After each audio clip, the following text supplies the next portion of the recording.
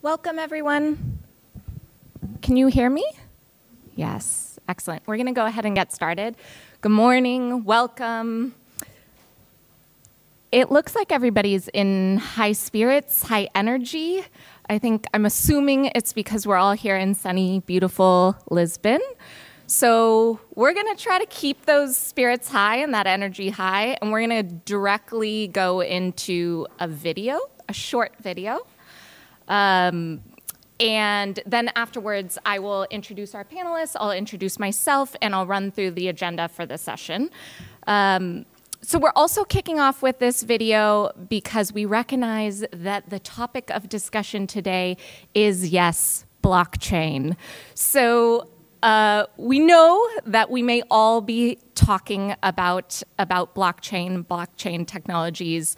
Um, we may all be talking about it, but I think that many of us also feel that we're not sure if we're talking about the right thing or the same thing as the person that we're talking with, etc. So one of the themes of today is actually going to be just that. It's, it's what we know and what we don't know. Because um, I think collectively we understand that there's still, there's still a lot to understand and learn about this topic.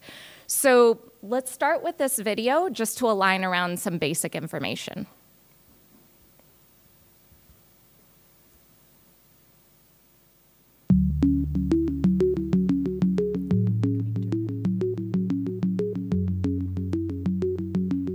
Many people think of blockchain as the technology that powers Bitcoin. While this was its original purpose, blockchain is capable of so much more. Despite the sound of the word, there's not just one blockchain. Blockchain is shorthand for a whole suite of distributed ledger technologies that can be programmed to record and track anything of value, from financial transactions to medical records or even land titles. You might be thinking, we already have processes in place to track data. What's so special about blockchain? Let's break down the reasons why blockchain technology stands to revolutionize the way we interact with each other. Reason number one the way it tracks and stores data. Blockchain stores information in batches, called blocks, that are linked together in a chronological fashion to form a continuous line, metaphorically, a chain of blocks. If you make a change to the information recorded in a particular block, you don't rewrite it. Instead, the change is stored in a new block showing that X changed to Y at a particular date and time. Sound familiar? That's because blockchain is based on the centuries old method of the general financial ledger. It's a non destructive way to track data changes over time. Here's one example. Let's say there was a dispute between Anne and her brother Steve over who owns a piece of land that's been in the family for years. Because blockchain technology uses the ledger method, there is an entry in the ledger showing that Adam first owned the property in 1900. When Adam sold the property to Dave in 1930, a new entry was made in the ledger, and so on. Every change of ownership of this property is represented by a new entry in the ledger, right up until Anne bought it from their father in 2007. Anne is the current owner, and we can see that history in the ledger. Now, here's where things get really interesting. Unlike the age old ledger method, originally a book, then a database file stored on a single system, blockchain was designed to be decentralized and distributed across a large network of computers.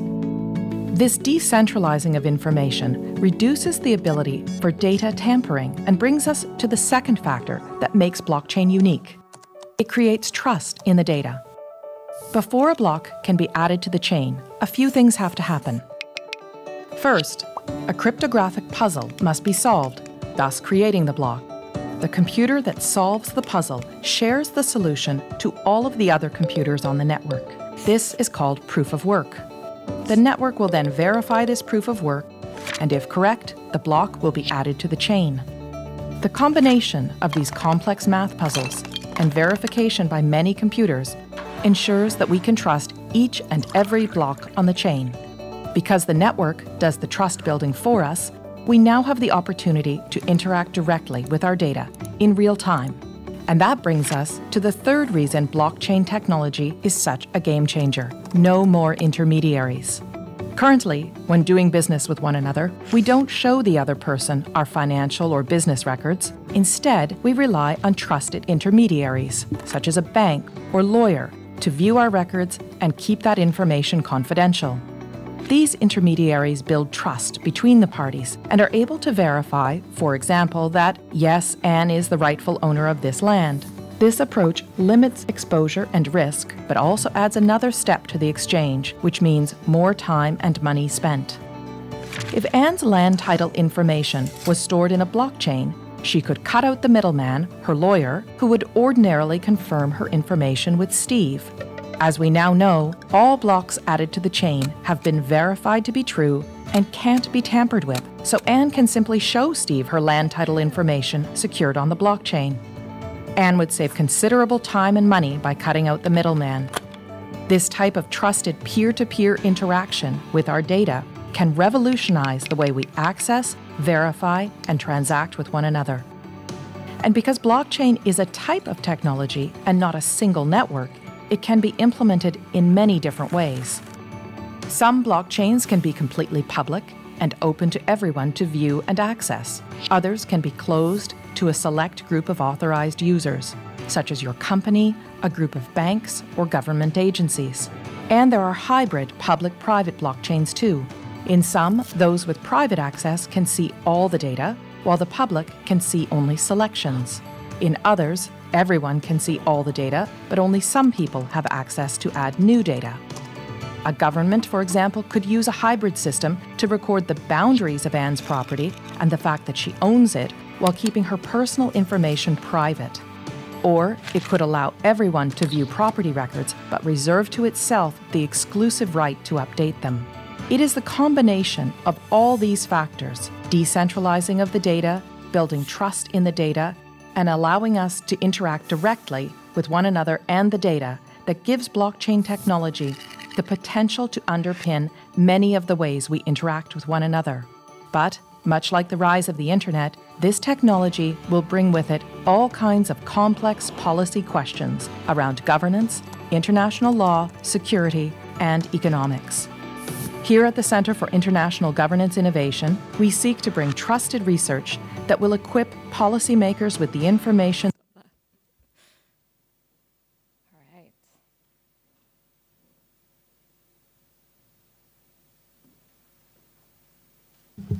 Okay, so welcome again. My name is Nicole Anand. I'm the Director of Strategy and Learning at the Engine Room, and I have with me four excellent panelists doing some very interesting work on digital ledger technologies. Um, I'll start all the way at the end with Marco. So we have Marco Konopacki, right? Um, and Marco is currently pursuing a doctorate degree in political science at the Federal University of Minas Gerais, and he holds a master's degree from the Federal University, University of Paraná in political science. He was an advisor in the Secretary of the Legislative Affairs of uh, the Ministry of Justice, where he coordinated the public debate on the regulation of Brazil's Internet Bill of Rights. And he is currently the project coordinator in the area of democracy and technology at the Institute of Technology and Society of Rio, um, where he's created the Mudamos app that we'll hear about later for citizens' initiative draft bills in, in Brazil. Um, next to him, we have Anders Pedersen. And Anders is um, Anders is a senior open data officer at the Natural Resource Governance Institute, NRGI, where he leads work on open data and emerging areas, including net research. NRGI is undertaking on the potential impact of blockchain in the extractive sector, which we'll also hear about in a little bit. Um, next to Anders, we have Andrew, Andrew Young. Andrew is the knowledge director at the GovLab, where he leads research efforts focusing on the impact of technology on public institutions. Among the grant funded projects he has directed are a global assessment of the impact of open government data, comparative benchmarking of government innovation efforts against those um, of other countries, a methodology for leveraging corporate data to benefit the public good, and crafting the experimental design for the testing for testing the adoption of technology innovations in federal agencies. And last but not least, we have Stefaan Verhulst. Um, Stefaan is the co-founder and chief research and development officer at the Gov, GovLab as well where he's building a research foundation on how to transform governance using advances in science and technology. Stefaan leads several projects at the GovLab, including research on open data, data collaboratives, blockchain technologies, and people-led innovation. Previously, he held senior leadership roles with several academic institutions and civil society organizations, including Oxford University and the Markle Foundation. And Stefaan has authored and co-authored numerous books, and his articles have appeared in the Harvard Business Review and Stanford Social Innovation Review. Finally, Stefaan is also a curator and editor of the GovLab Digest, a weekly curation that may be of interest to this community.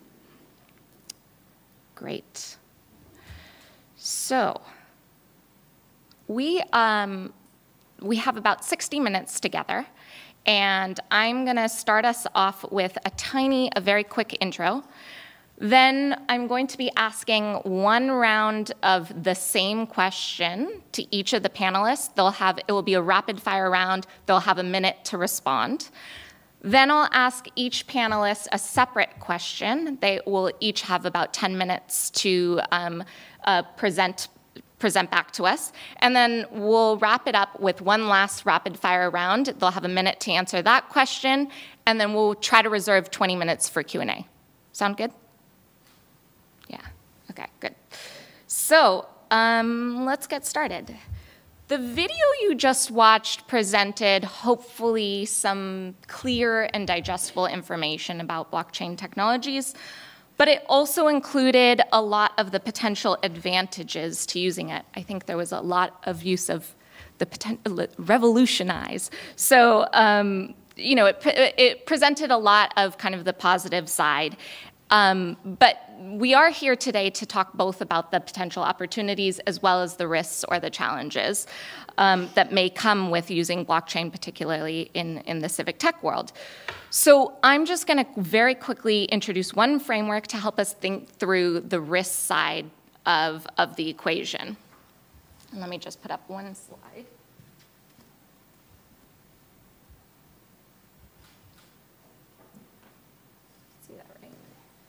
Okay. So there are many things that we don't quite know about blockchain, but one thing I think many people can agree on is that it's popular and it's gaining popularity.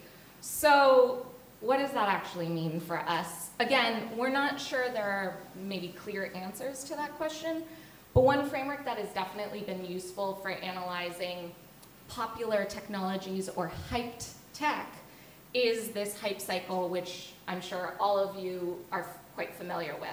But essentially what it shows us is that um, where we start, uh, it shows us that there's a cost of hype tech to society, right? And where we start, um, where it starts is really to say, we think, we think this technology is the silver bullet, and we overinvest in it.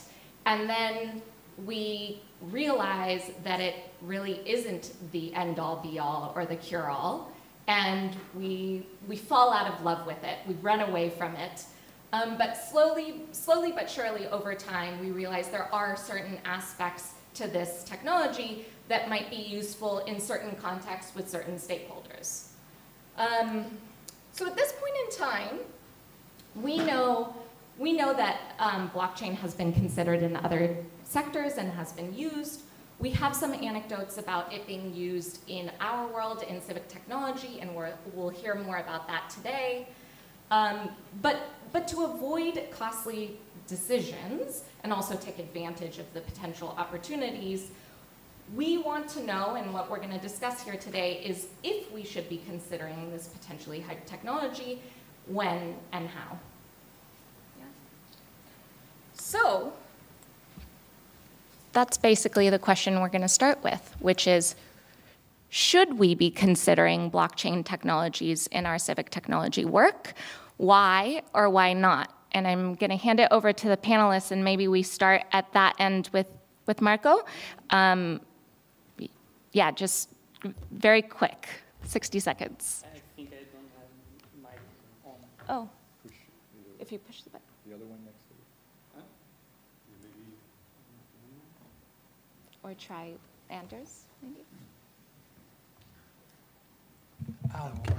Thank you. Thank you, Andrew. Thank you. And good morning, people. Um, it's a pleasure to be here with you in this wonderful morning. Um, so it's a big, big, hard question, but I try to, to put in, in two basic uh, questions to um, to provoke the audience about it. I think the big mistake many organizations are doing mm, uh, nowadays is to put technology first when they are designing social and civic solutions. And the blockchain is not different. Uh, blockchain is uh, in every moment of our life, and people are speaking so much about there. Um, for me, two blocks in my coffee, if if it's possible. Uh, so to try to, to frame the uh, more specifically how, wh where when is important to use blockchain, I, I give you two questions to do, do your, to yourself. Um, keep information with one player could unbalance in power and generate mistrust between participants in the system.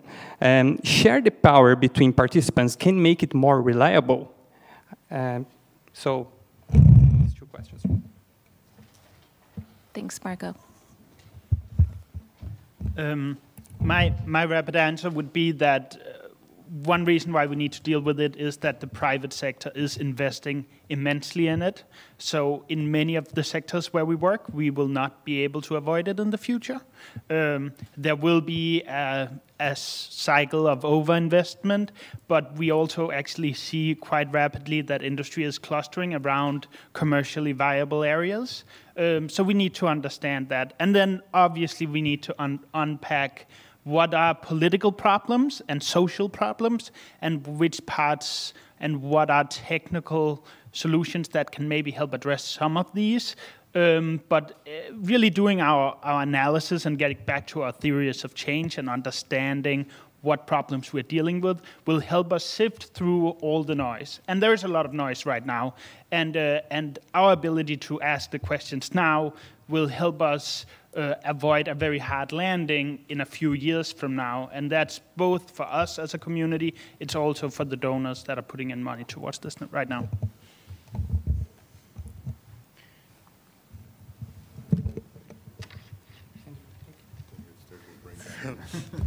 All right. Thank you. So uh, my 60 seconds, uh, I think, yes, the civic tech field should be considering the use of blockchain. I think it's important and something that we're going to talk about in a moment to take a more nuanced approach, though, and consider the different attributes that different types of DLT implementations might have, the different risks and benefits associated with different types of uh, blockchain implementations, and be a little bit, again, more nuanced and strategic about how we consider using blockchain rather than just going back to all of the blog posts and uh, research proposals that we wrote five years ago and replacing Uber for X with blockchain for X. Yeah, I don't have that much to add here, and we will, of course, go into depth uh, uh, during our presentation. But I think one thing that I think is positive about the hype, and of course, anyway, as you mentioned, the hype might become a bust as well, and that's the danger. But I think one thing that is positive about the hype of blockchain right now is that it has actually unleashed a lot of energy to think about a problem differently. And it has really created this new kind of uh, uh, energy to look at a problem and say, perhaps we can find a different solution, whether it's around uh, protection of data, whether it's around uh, power relations with regard to certain kinds of records, uh, whether it's about even uh, um, direct democracy, is that suddenly the blockchain has actually unleashed new power, uh, new um, uh, imaginative discussions about what could we do differently. And I think that's actually a, a, a positive element of the blockchain discussions. Uh, whether, of course, blockchain can deliver, that's a different question. But I think the hype has really created new discussions and brought actually new actors to the discussion that I think is positive. And so that for that reason, we should use blockchain not just for technology adoption, but use blockchain as a way to force us to think differently about the problem and differently about how society is organized. Great, thank you all. So, building off of that last um, comment, uh, Stefaan, Andrew, I think this, these questions are for both of you because you'll be presenting together, right? So, two questions. Um, can you tell us a bit more about how and when the civic tech community should be considering blockchain in, in their work, so this audience? Um, are there certain applications that seem more useful?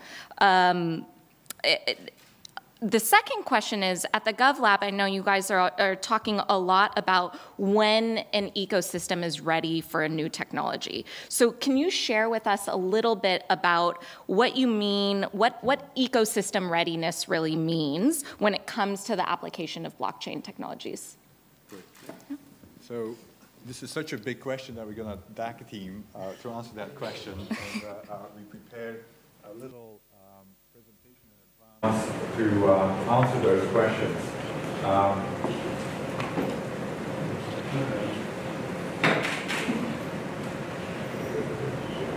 and so um, what we will um, tag team about is to try to answer that question in the context of a uh, project that we started uh, a few months ago. So we are actually still uh, early in the project, uh, which is called Blockchange because about uh, blockchain for social change. And, uh, and we thought that uh, given the fact that uh, the, anyway, we're quite happy about the title, oops, uh, that perhaps from now on it can only go downhill because if you have a catchy title then the expectations are too high. So that's why I need Andrew to help me out to actually explain what we are talking about. So what we try to do here is exactly what Nicole asked us, which is when is it appropriate to think about blockchain for social change, and what is the current practice? Because to a large extent, as the introduction already showed, there is a lot of promise.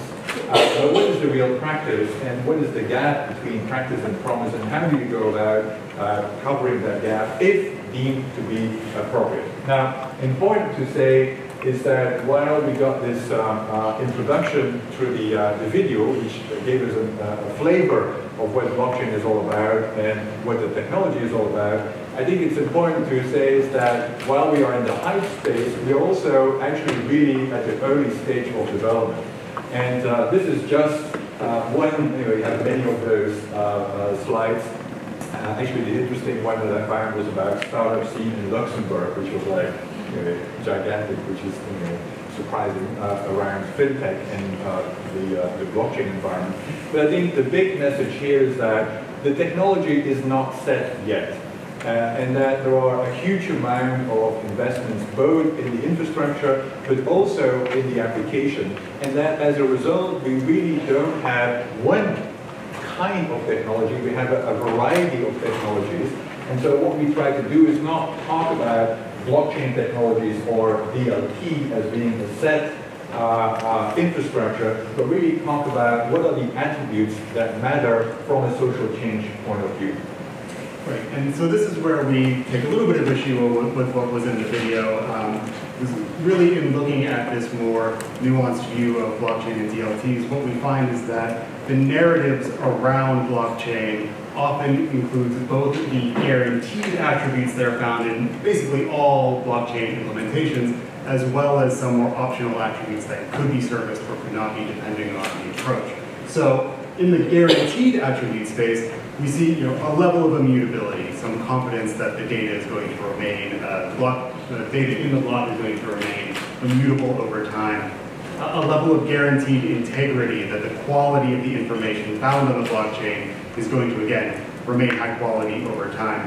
And then also a level of distributed resilience where the information is held across many databases that are uh, duplicated in many places so that uh, data breach or a hacking approach is a bit more difficult because of that distributed resilience approach.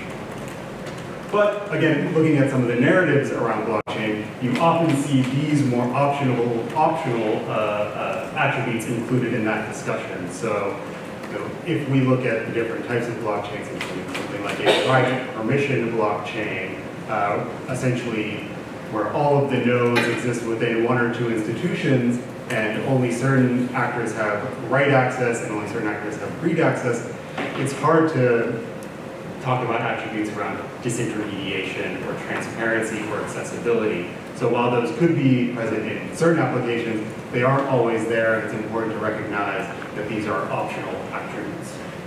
Yeah. And uh, so the question then is, of course, given that we know what those attributes might be, um, what are the types of applications that blockchain could provide to the civic change kind of community. And frankly, there are three large types of uh, uh, kinds of use cases that we see. Uh, the first ones are track and trace, where you exactly can track and trace over time the flow of the uh, record and uh, the, uh, in some, in some cases even the record that is connected with an identity. The second one is smart contracting, and then the third one is around identity. And so in the track and trace space, probably the paradigmatic example um, to date is this initiative where the purity and provenance of diamonds is being tracked over the blockchain to ensure that the, diamond that you buy in a ring at the local jewelry store isn't contributing to conflict areas or forced labor. As it relates to smart contracting, which in essence is basically uh, just a kind of an algorithm, if X then Y, that's basically the concept of smart contracting. So if you actually have a record, then automatically there's an action, an automated action connected with the record. So if the record is added to the blockchain, then there is an automated action. So in this case, it was an interesting experiment that is happening in Indonesia, which uh, indicates that if the, uh, uh community can prove that they didn't um, put their uh, agricultural uh, farmland on fire, which is a typical method of actually clearing certain kinds of uh, crops, uh, they would be re uh, rewarded a, um, a um, monetary price that they can then decide to invest in, whether it's in schooling or whether it's in healthcare, for instance. And so that was an interesting experiment of smart contracting, because normally A, would take a long time to validate that certain action, in this case, did not take place, and B, it would then take time to actually reward the action. And so in this case was smart contracting where the moment a record was uh, established and verified, there was automatically a, uh, re a reward in this context. And then the last type of blockchain or civic change type of initiative that we've been looking at is around identity. And this is the, the, uh, the type of use case that we're especially focused on at the moment in GovLab. And one interesting example there, and we'll talk about it more in a moment, um, is this uh, pilot project from Illinois where new births were being registered on a blockchain, testing the feasibility of that kind of approach to have an immutable ledger of new births in the state. So we decided that uh, of all the three uh, use cases, track and trace, smart contracting, identity, that identity really for this field is the foundational application that we should start looking at. And it also provides for a lot of promise from a social change point of view because identity has ultimately a key role in social change because to a large extent it allows for access to certain kinds of services, right? For instance, if you have no identity, you cannot access financial services or you cannot access uh, certain kinds of commercial services. But it also, identity is also linked to rights. Uh, without an identity, it's very hard to implement even political rights. For instance, like voting, which is why uh, blockchain is quite often connected with actually improvement in voting because it can deal with actually providing for a trusted identity over time that allows for more direct voting and more regular voting, for instance, as well. The second uh, reason why we believe that identity is very important for this community to, uh, to look into is because it underpins both smarter contracting and the track and trace. Uh, uh, without quite often identity, it's not very hard to do track and trace. And here we're not talking just about identity of individuals, it could also be identity, for instance, of a diamond or identity uh, of a uh, corporation, for instance. And that ultimately allows for them the uh, identification uh, uh, of the tracking and the trace of certain kinds of um, aspects. And then thirdly, and that's where there's a lot of narrative these days uh, around blockchain, identity is being, or the blockchain is being seen as allowing for um, the missing protocol to be established. There's a lot of talk about Web 3.0, uh, in which uh, uh, they point that actually in the previous web versions, uh, they missed one important protocol that actually led to the creation of Facebook and other identity owners. And that was actually the protocol to identify identity. I mean, absent that uh, uh, being able to identify identity without relying on an intermediary, um, that has actually created all the business models behind certain kinds of services that we see. And so there's a lot of narrative that if blockchain could solve this, we would actually create a whole new ecosystem, a distributed ecosystem, as if the web was intended to be. And so that's the uh, other reason why we try to understand what actually is the, uh, uh, the case with regard to identity. Right. And then, so just as blockchain, uh, blockchain technologies are not a monolith, identity is not a monolith. So to get a little bit more strategic about the potential of blockchain uh, in the identity space, we're really focused on the identity lifecycle and the different problems that are particularly present at different stages and the potential uh, attributes of blockchain that could potentially address those problems at those different stages. So I'm just going to go through these real quickly because I know that we're running a little bit short on time. But at the first stage of provisioning, you know, the, the issue around lack of identity, you often hear the, the discussion around is blockchain an approach to address the 1.1 billion currently lack official identities um, around the world. So the idea that universal access could be uh, uh created through the blockchain. At the authentication stage, you know, the, the lack of quality and trusted identifiers um, is often uh, found at both the foundational ID and the transactional ID level, and does the integrity that blockchain initiatives can provide, does that um, uh, show a way forward there? At the administration stage, you know, the lack of agency that we often see where I have no control over different identifiers attached to me who can access them, who can view them. Can a blockchain approach actually give me more user control over my identity and different elements, uh, identifiers associated with me?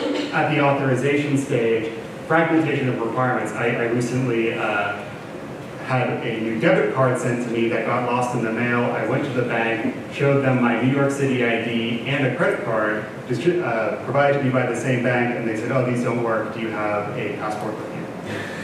Obviously, a minor issue in the grand scheme of things, but those fragmentation requirements, you can imagine how they could be a, a major issue in a more um, important area. So can blockchain provide some kind of interoperability of different ID approaches? And then finally, at the auditing and monitoring stage, you know, we often have that opacity of who is, again, who's looking at my information, uh, the identity as a black box issue.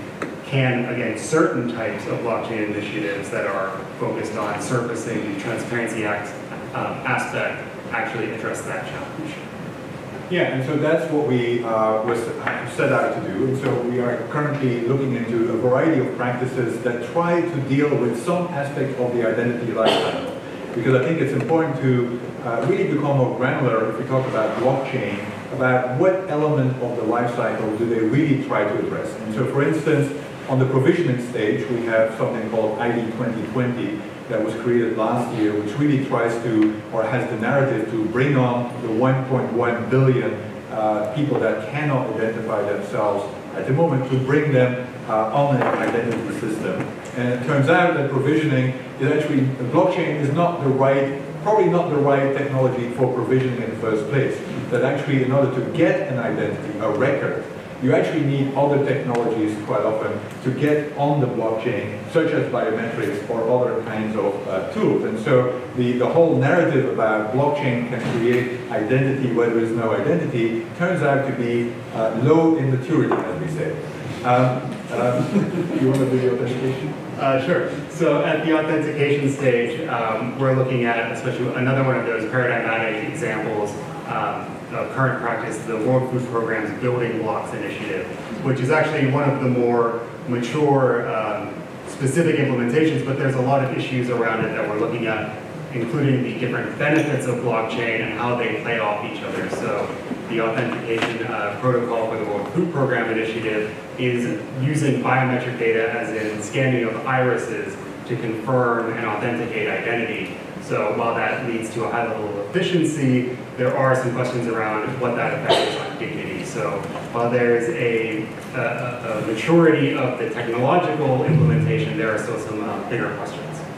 Yeah, and the real um, um, the real value proposition quite often as it relates to identity and blockchain is then uh, related to administration, right? If only we could give power to the individual to control his or her data and then negotiate with uh, all the actors in the ecosystem on how and what they want to disclose, then life would be so much better. And so um, that's what the, the whole range of technologies and startups around self-sovereign identity try to do. And so here we again have explored a variety of uh, initiatives and one uh, famous one that uh, most uh, uh, refer to is the initiative of um, Zug, uh, which is a, a town in Switzerland where they try to actually experiment with self-sovereign identity for their citizens. Now, the challenge here is, again, how do you get the self-sovereign identity? And actually, in this case, it actually really also still means that you have to go to the city hall in person to re uh, request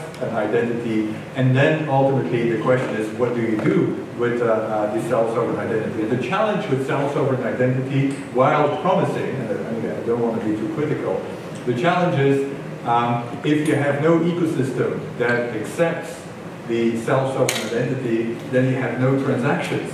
And so at the moment, the ecosystem is clearly not ready for self-sovereign identity because there is no uh, uh, parties that accept your self-sovereign identity. And so most of the cases that we see are like a scale of 50 individuals that have a self-sovereign identity like in Zug, and then try to figure out how can we start sharing this with actually the real world and it turns out that it might be harder. Now, yeah, I could go on. so, uh, a similar issue around ecosystems, you know, to Nicole's earlier question, is present at the authorization stage. So one project that we're looking at right now is MIT's Digital Diploma Project, which is uh, essentially a blockchain initiative for transcripts and uh, your diploma from MIT the project works fantastically. The people who accept it can use it well. Uh, there's a level of user control and can access things. But again, is the ecosystem ready where if I get offered a new job, I can send my blockchain diploma? Um, that's a big question still. Yeah, and on the auditing and monitoring here, we of course have a, a range of interesting initiatives around land registries, and I think uh, uh, Anders might talk about that as well. So I'm not going to go through into detail, but that's really, turns out, one of the uh, interesting and most successful areas where the blockchain has been uh, uh, experimented with. The key challenge here, of course, is already uh, what's the legacy system of land registries? And it turns out, like for instance, in the case of Sweden, they actually did have a good uh, land registry uh, uh, system, and so it was easier to actually transfer the registry to a blockchain. In the case where there is no land registry or, or trustworthy land registry system, it is still harder to then have blockchain as the uh, solution, which again is linked with actually the, the provisioning. So the question that we then posed is, when, as a uh, civic change community, when is it actually appropriate to start thinking about blockchain? Because we are in a lot of discussions with actually civic, uh, uh, civil society organizations about let's do blockchain. And the question is, when is it actually appropriate to do blockchain?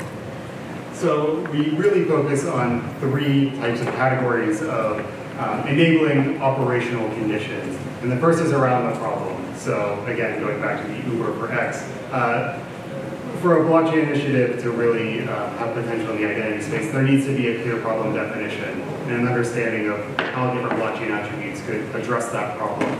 A second one is around information asymmetries and high levels of transaction costs in the current system, if that can help to incentivize change. And for the economists in the room, we often point to the Market of Lemons uh, paper, and the, which is focused on information asymmetries in the purchasing of used cars.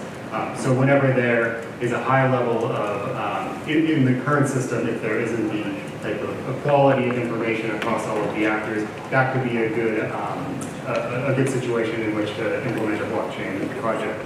then on the data and technology side, um, as Stefaan said, the, the presence of digital records can be uh, uh, give a great head start to a blockchain initiative. Um, also, really importantly, again, not looking to have blockchain be the hammer always in search of a nail. If there's already a, credible and alternative disclosure technology being used in the space, blockchain might not really be all that necessary. And then finally, again, to the ecosystem question, um, the presence of intermediaries can be a big uh, determiner, uh, determinant of the uh, effectiveness of a blockchain initiative, whether it's uh, strong and efficient intermediaries that can be leveraged as partners in initiative, or largely deficient and ineffective intermediaries that can incentivize a new and more decentralized approach.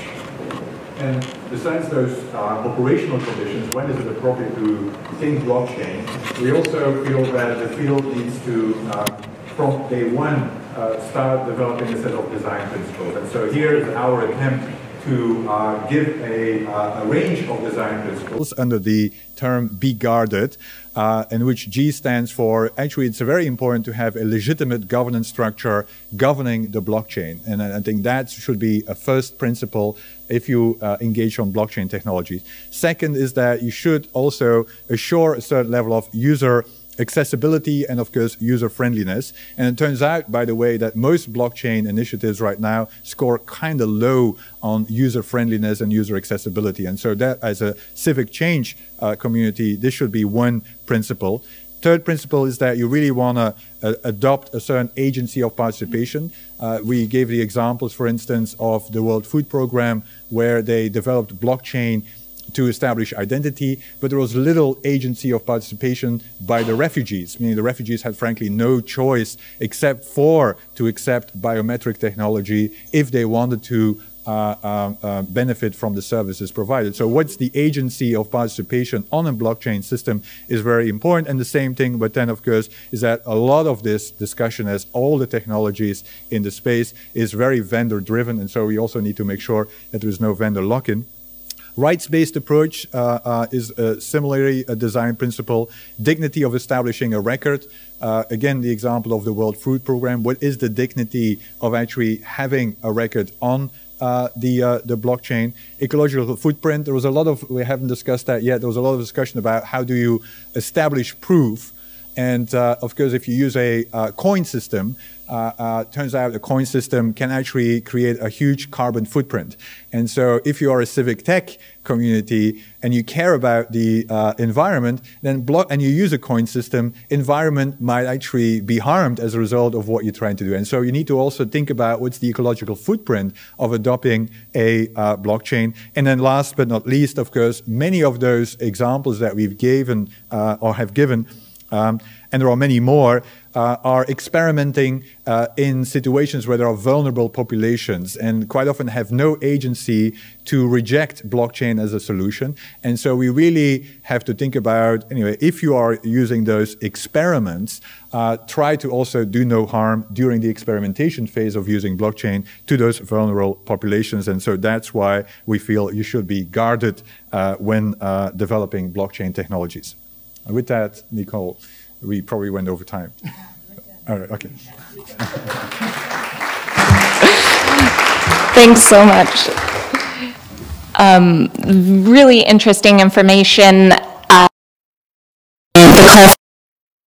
to the three use cases to all of the frameworks thereafter.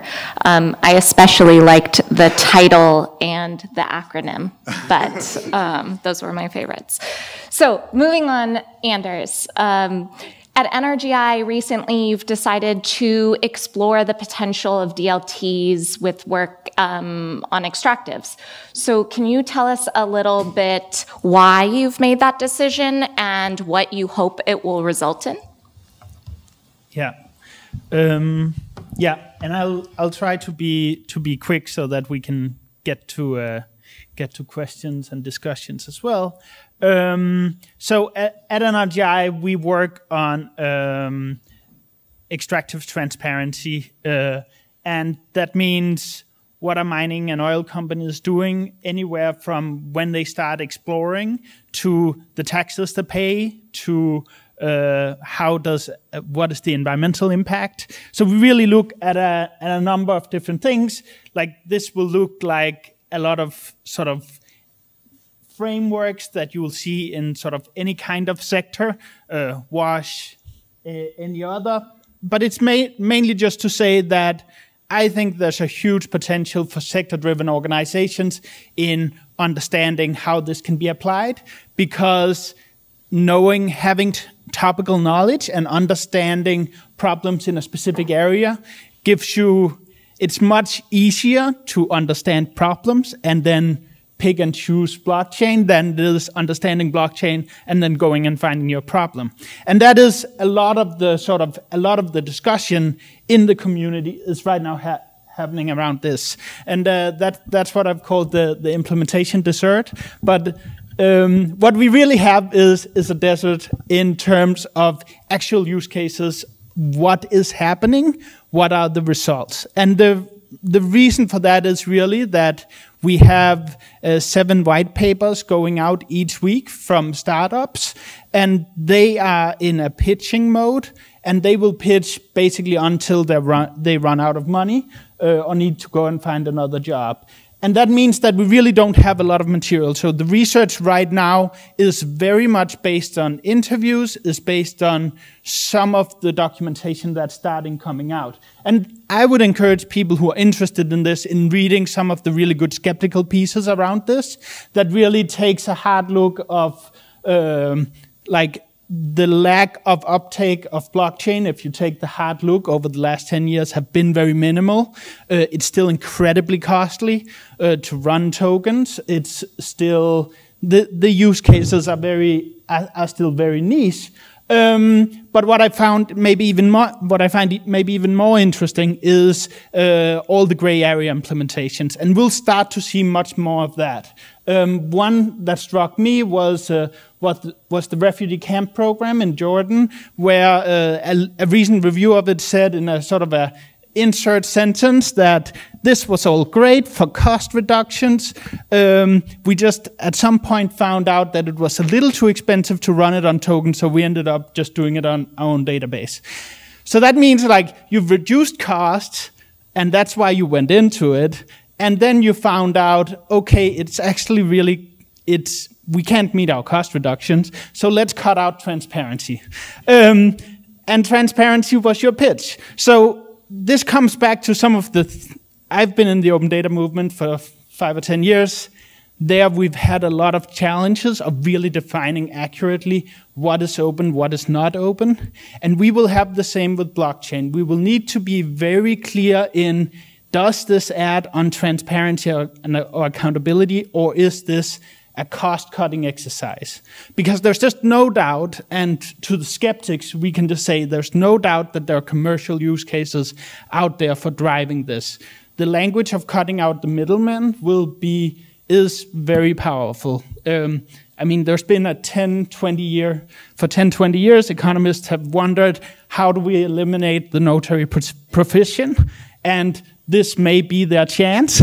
um, but before that, there's been all kinds of other attempts to make uh, make that profession and make the manual review of uh, legal agreements, etc., to to challenge that. So there are really economics behind this. Um, so I want to talk about two two cases where we are currently exploring it. This is we're very early in our research stage. We're working actually in full disclosure with GovLab to, to understand this space. Um, and at this stage, we're like looking at, at some, some different cases. Um, mining licensing is a really good example of something where a technology, the core technology of understanding land titles and of enabling blockchain technologies in land titling, where the extractive sector may actually end up benefiting from technologies developed in, in in other areas that can then spill into into uh, into mining.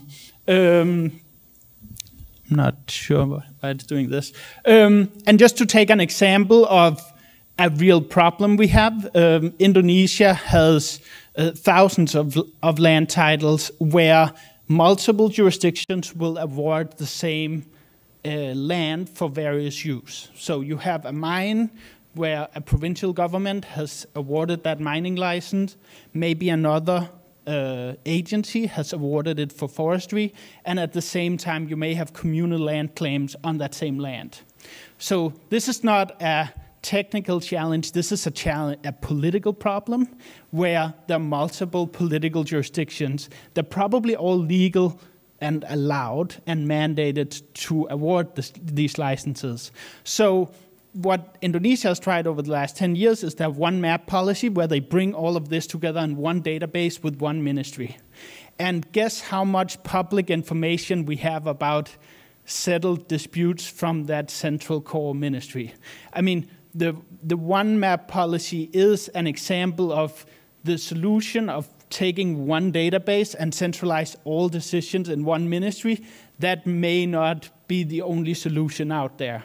And thinking about verification from multiple parties and having a more open verification system where uh, where disputed claims can be made public is probably something that's worth exploring. Um, another thing, another area that, that we have our eyes on is, uh, is commodity trading. So right now, one of the most secretive areas of, uh, of the oil sector is the sale between uh, between Swiss commodity traders, for example, and, uh, and national oil companies.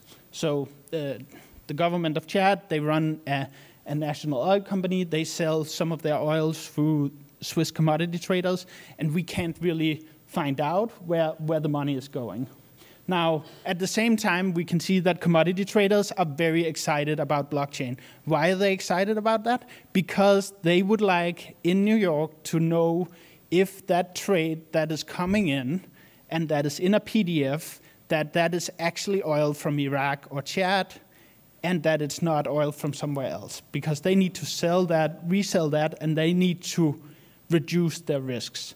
So for, for commodity traders, this is a real value proposition. If they can reduce risks on a lot of their trades, they can, there's a higher margin and, uh, and they can also uh, focus their risk more appropriate to a smaller number of trades. So what I could imagine, what we're imagining could happen in the future is that we may end up with the same countries that we know are in risk, for example, under SWIFT or under financial transactions, that those will be de-risked and have a more accurate risk proposition ass assessed to them. So there's a lot of things here that shows us that there's definitely a private market for that. The questions for us is how do we as accountability actors ensure that there are disclosure mechanisms built into this, that we're thinking about how can some of this information be made public? Because if we don't engage, this train is just going to go. Um, so, so that's sort of that's, that's also an, an argument for saying we don't necessarily need to do blockchain as civil society, but we need to understand how it's implemented because the next disclosure wave or the more granular data, the more timely data, if we don't want three-year-old PDFs, we should probably try to understand how we can ask questions about how this can be disclosed through security exchanges or through other mechanisms. And that's all.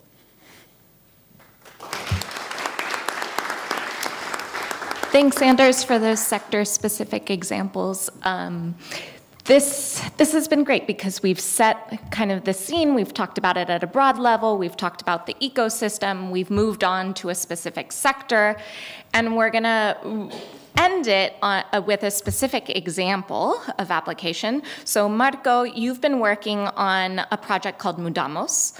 Um, can you tell us a bit about the project, why you decided to use blockchain in this project, and um, what you've learned thus far?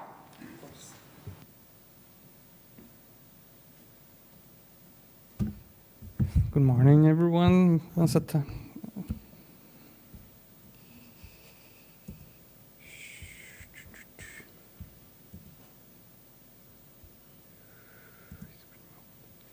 Yes. Um, so I split my presentation in three parts. Like uh, the first one, what is Mudamos? And after that, why we use it blockchain and how blockchain uh, to explain uh, how we use it blockchain in this project. Um, Brazil, um, all Brazilian citizens have the, the right to present to the Congress uh, citizens' initiatives draft bills, uh, which are presented and, and legitimate by gathering uh, signatures from uh, the Brazilian society. Uh, for a national bill to be presented for the Congress, are needed more than one, point, one and a half million of signatures uh, to present a bill to the National Congress. It corresponds uh, almost 2,000 kilograms of paper uh, to in signatures. So we design an application to use in a creative way technology to substitute the way to present uh, draft bills signed by paper to turn smartphones into digital pens to sign.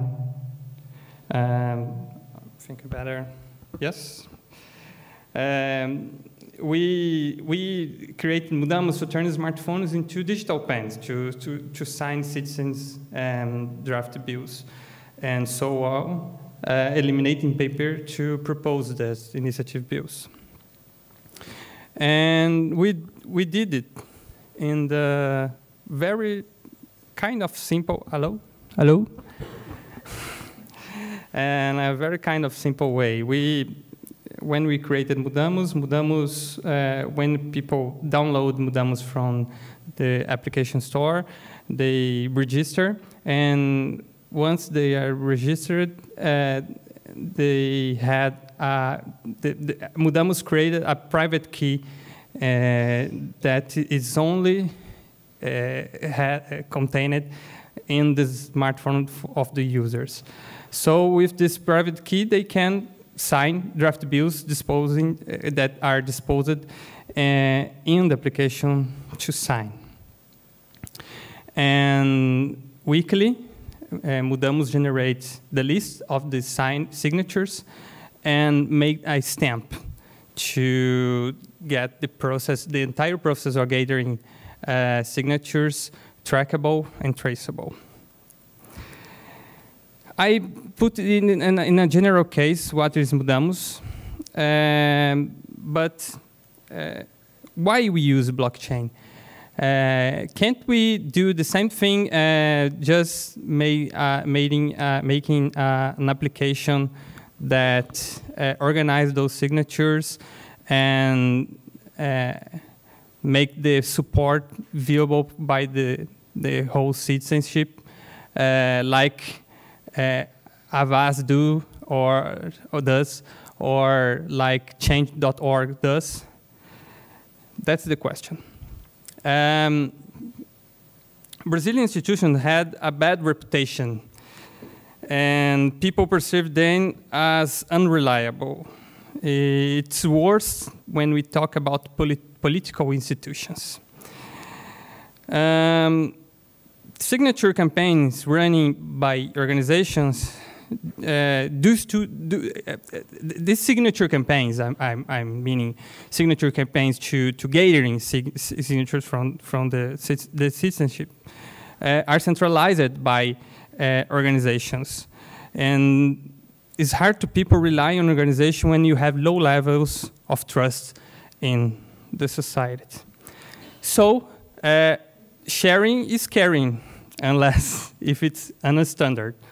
Um, what we do uh, and we made with Mudamos is creating a system that uh, the way we sign uh, or the way the people sign for uh, those draft bills are shared uh, and everyone can check uh, the signatures made by, by, by the civilians and the, the citizenship. And any campaign coordinator or any public institution or any citizen uh, can have the same condition to, to, to signature checking and, and have the whole, the whole accountability of the campaign in, in their hands.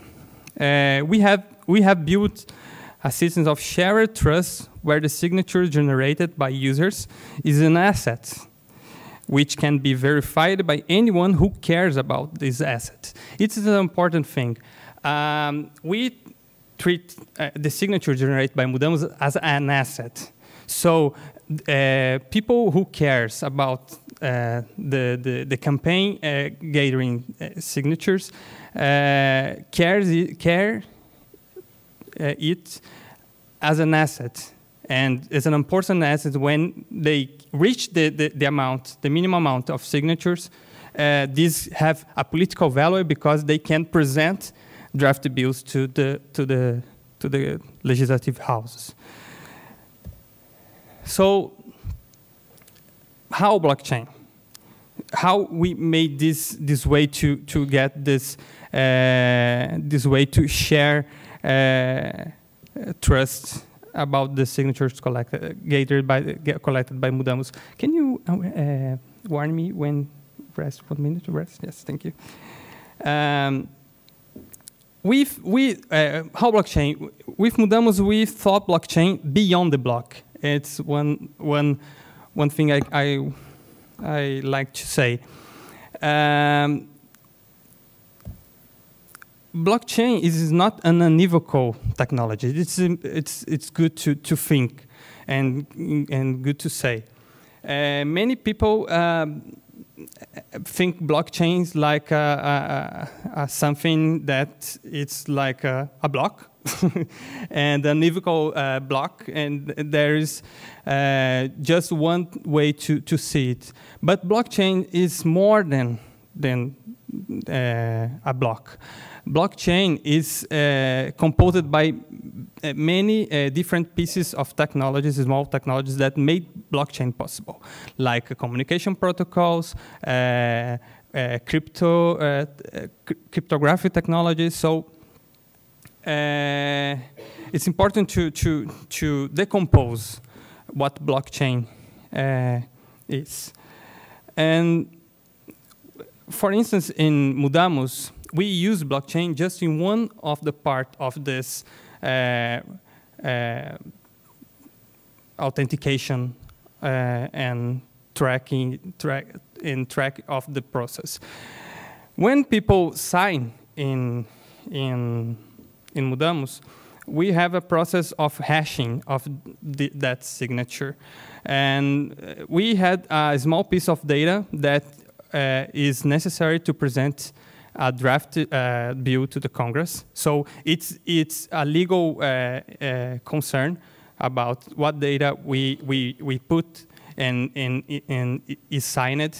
So when people uh, sign for a draft bill, they have the, some personal data, data, and they hash the, this, this data with their private keys inside their smartphones. So we have a signature that is verifiable by the public key generate, generated when people uh, had registered for Mudamos. So th this is the same technology uh, blockchain uses to sign messages when people broadcast message uh, with like Bitcoin transactions. Uh, all the, the messages generated for the, for the network are, are signed uh, uh, by the people's wallet. Uh, so we did the same technique to to the public to the citizenship signatures, and it works very very in a very very interesting way. Weekly, we gather and, and, and combine all those signatures in PDF um, documents that these documents uh, are signed and, and registered, stamped uh, in a blockchain, in a public blockchain, And Mudamos to the, uh, nowadays use uh, uh, Bitcoin and Ethereum blockchain. So these documents can uh, make uh, can uh, demonstrate to the public and to the to the citizenship the the track the how trackable this process of gathering signatures uh, is being done. Um, it's important to uh, make this process auditable. So uh, anyone who participating in gathering signatures for initiative draft bills, uh, citizens initiative draft bills, can check uh, how the process of uh, signature collection collecting is is being done. Uh, one minute. Yes, I'm. I'm just yeah, finished. So what we we have learned uh, with Mudamos. uh, Mudamos was launched in March of 2017. So we are we are running Mudamos for a year, and we, what we the lessons uh, what good we we we learned uh, was uh, think blockchain beyond the unitary technolo technology and take advantage of a small technology piece of blockchain. It was one of the good things. And, in, uh, and particularly, we now are trying and thinking Mudamos as a wallet and, and testing some uh, identity experiments. So it's interesting. One of the small pieces of technology we can uh, prove and test uh, beyond the blockchain, the, the entire or the whole blockchain. But the bad uh, was overcome blockchain literacy. Uh, even we have made a system where anyone can check signatures by themselves, just a few people know to do it.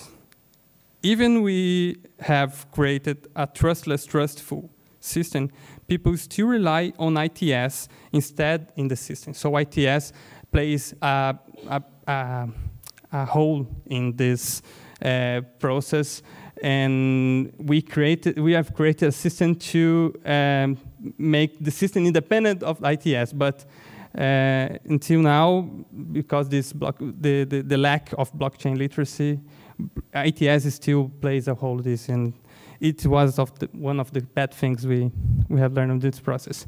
Thank you. Thanks so much, Marco, for sharing.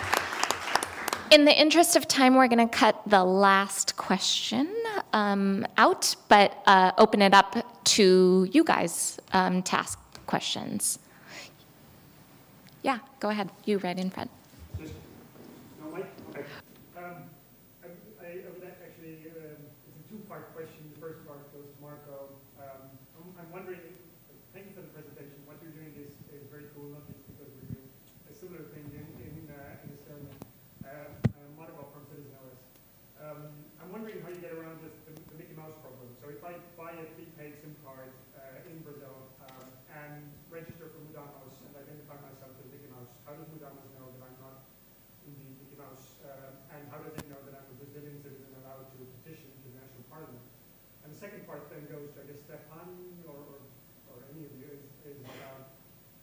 McDonald's doesn't have this problem because they're, they're in, in Brazil, but with servers in Ireland, we have the GDPR problem.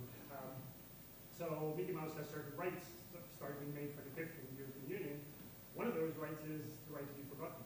Um, if you, know, you, you, can't exercise this right to the government, you can't say to the government that forget my birth certificate, but, but you can exercise this right in, in respect to a, a, a, civic organization, and you can say, you know, forget everything that I've ever commented or voted on in your system that doesn't work with, with blockchain. You can't, like, blockchain doesn't allow data to die. It's a philosophical issue that's interesting, but, but it's a very practical issue that I, like, I have to forget my users if they so require. So how do you, do you see any, any developments going on around sort of GDPR compliance and blockchain? So, sorry, long question.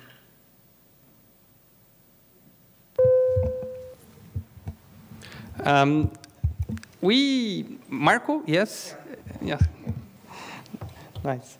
Uh, we address this. The, this is a, a, good question, and we address this question in two ways to think uh, about um, how to overcome this um, mistrust about who signs and Mickey, if Mickey Mouse signs for a draft bill in Brazil, it could be uh, generate uh, mistrust in in the system.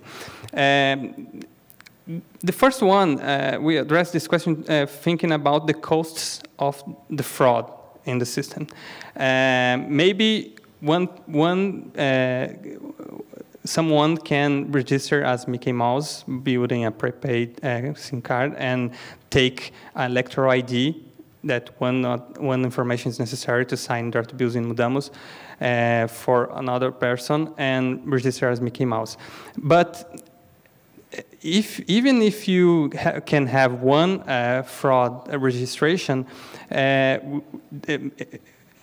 it's hard to think uh, someone will try to uh, break the entire system. So gathering one and a half million signatures as Mickey Mouse, as Minnie, Minnie Mouse, and Pato Donald, and all those things, and all those characters. Um, and this is uh, important because uh, one and a half million, and if you uh, pay for a, SIM, a, different SIM card for one and a half million SIM cards, uh, you have a, a, a high, high costs, uh, more than uh, some sometimes we joke is more um, affordable or more easy to buy a congressman in Brazil than fraud uh, mudamos. Um, but the second one uh, is a legal uh, a, a, legal uh, response to your, your, question. The attribute or the role to verify the signatures uh, legally is uh, of the, the legislative house, the Congress, National Congress of Brazil.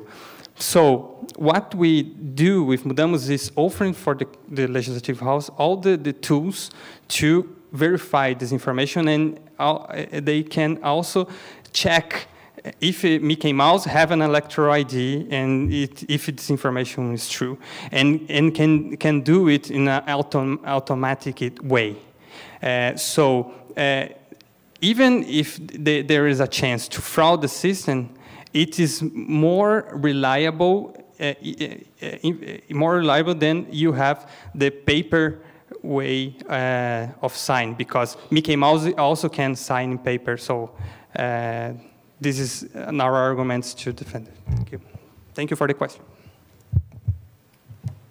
Yeah. So. Um, normally we have, uh, in the slide deck, we have one slide dealing with legal issues, and there are many, right? So, I mean, GDPR is just one uh, item that uh, we're going to have to figure out. And, and quite often, anyway, I make the joke is that Larry Lessig gave us code is law, but law is code is equally important. And that's what we actually see right now is that certain kinds of legal frameworks are probably going to determine how the code eventually is going to look like. And so GDPR is one. Um, the, the presence of electronic signature laws, for instance, is another important uh, uh, legal enabler or disabler, depending on how the law uh, predicts what the conditions are for being considered uh, uh, valuable, uh, val valid. And, um, and so I have no, anyway, um, no immediate um, um, guidance if you're looking for GDPR compliance, which I would never be capable of doing anyhow. Uh, except for saying it's going to be a challenge. And it's very interesting is that GDPR is actually used right now to promote uh, self-sovereign identities. Uh, so that you can actually say is that the whole concept of self-sovereign identities is actually being seen as an empowerment of the individual uh, uh, who then can control what is being shared or what is being deleted or not. And so uh, many in the blockchain community, on the one hand, see GDPR both as a threat, but also as actually an enabler of uh, establishing uh, more user control through self-sovereign identity. So it has both sides uh, from my point of view. There are other legal questions. One that I think the community should also think about is the massive patenting that is going on right now. Uh, meaning blockchain is being patented, or, or any kind of line of code uh, uh, is, uh, is being patented right now, which might have implications for the civic tech community on how you actually experiment uh, and adjust some of those technologies.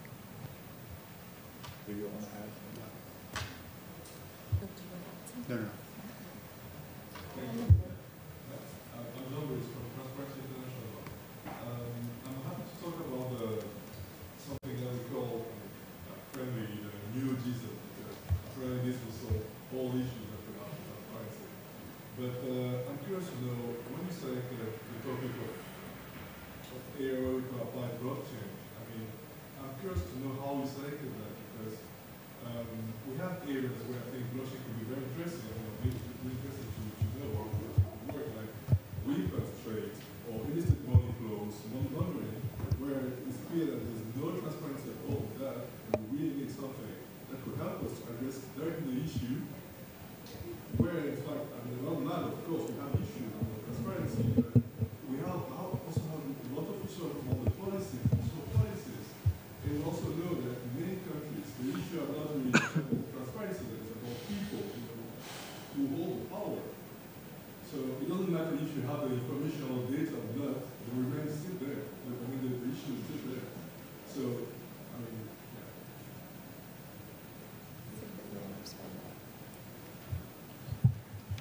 Yeah, no, obviously the political economy in which the technology is being developed is crucial and needs to be understood more.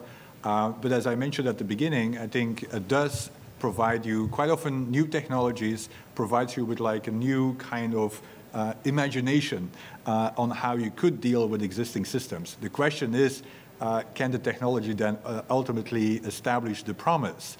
And I think that's then, anyway, up to experimentation and seeing how it evolves. Uh, but obviously, anyway, existing uh, uh, power structures are important uh, and might actually be strengthened. Uh, again, uh, through blockchain, because it's not like a neutral technology, right? I mean, so anyway, it's ultimately how it is being used and the values that are embedded in the technology. Maybe, maybe just quickly add, I think uh, one of the things we do see is that there's definitely interest from states that are risk have risk of getting cut off out of uh, global U.S.-dominated financial markets. Some of these countries are interested in seeing a vi viable crypto market for financial transactions globally. So um, Venezuela launched a cryptocurrency that turned out not to be a cryptocurrency, but there was lots of speculations that this was of interest to both shape ideologically by some some countries around the world, as, as, but also technically start building it.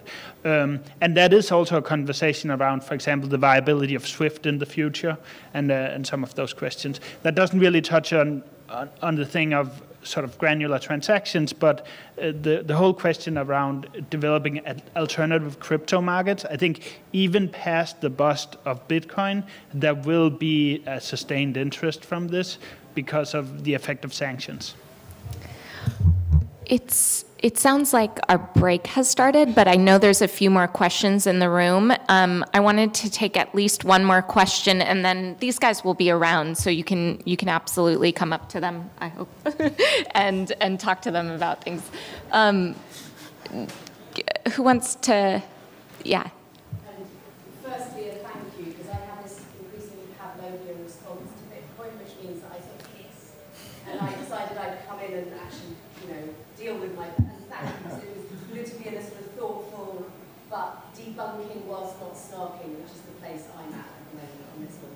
Um, I think one of the challenges, I'm not a cryptographer, as you may guessed, but um, talking to people that know about cryptography, they tell me one of the rules is it can always be cracked. It's just a question of when, not when, when not if. And I think one of the big challenges that sort of particularly the WFP example scares me particularly around data, very highly personal data, that I, is, is that if you are, we're starting to put data like that into it, into distributed, you know, the ability to hack when you've got thousands of versions of the record starts to up. So I think the, I guess I'm just adding a security is another huge variable in this one that I think we need to take very seriously and not allow the conversation like this is the securest thing on the planet. And just one very final thought, because I think we're running a really difficult line on this agenda, which is overcoming my internal snark and actually genuinely engaging with it, which is what you guys have done, whilst still debunking appropriately. And I think there, there's a difficult, and I think it's probably something as a community we need to talk a little bit more about engage versus debunk versus um, um, uh, the, the kind of actually using it um, agenda and how we do that. So thank you for starting. I think it's really important. Great, thank you. Uh, on the second point, I think uh, agree completely. On the first, um, that's an issue that we didn't really speak about too much in our presentation, at least, is that question of what information is held on-chain and what information is held off-chain. And that's another of these huge variables and design principles that can have massive implications on privacy, security concerns. So uh, the point, yeah, very well taken. Um, and uh, specifically about the, what information is on-chain is off-chain, uh, we need to care about the costs of the put the information on-chain. It's very, very uh, expensive to to put those information. In uh, with Mudamos, we mm, uh, split uh, the information what is on-chain and off-chain because of the costs to do everything on-chain. Firstly, we want to uh, put every signature on chain. So uh, we, we, we could take off all the, the systems and servers of uh, uh ITS, and every signature will uh, pop, pop up pop up from the, the the, the, smartphone to the uh, blockchain of the Bitcoin or Ethereum uh, blockchain but the costs uh, are very, very high to do it. So we split uh, and, and have storage uh, the, the signatures for a period, and weekly we deploy those signatures in an intermediate uh, file, uh, a public file, that a list of signature that this is uh, assigned, the, the, the, this, the file signature uh, that is only the information is, is, is put on chain. So we had le less than eight bytes uh, uh, published on chain, and and this is how can we make this information verifiable.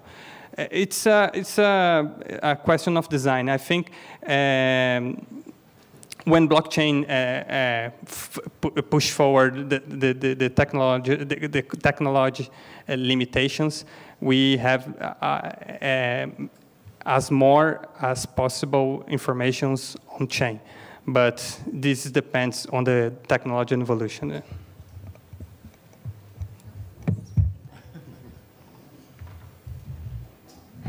I think that's all the time we have. Um, thank you so much for joining. Thanks to the panelists, um, and enjoy. Thanks. Thank you both.